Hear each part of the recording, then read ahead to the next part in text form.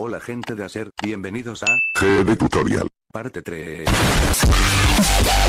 El día de hoy les enseñaré cómo domesticar y usar a tu UFO. Primero que nada, para domesticar un UFO, lo que necesitamos Es un UFO. Chistoso. Nerdy. ¿Cómo podríamos encontrar un UFO?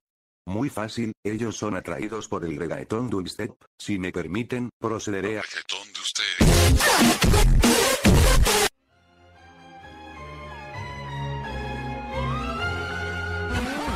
humano, Muere con Chetumare. pero si yo soy feliz. Ahora que tienes un UFO, para montarlo debes domesticarlo, pero ¿cómo chucha se domestica? Para domesticarlo deberás de darle un... Hueso.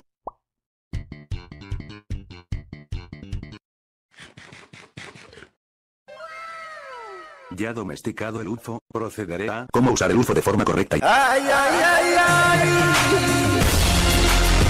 Antes que nada, debes montar el UFO, así que... Ven para acá, concheto.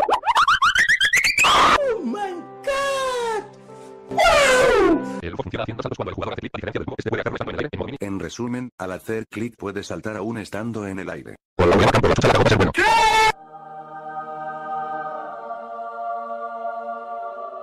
Ok, suficiente por hoy. ¡Chao, concha tu madre!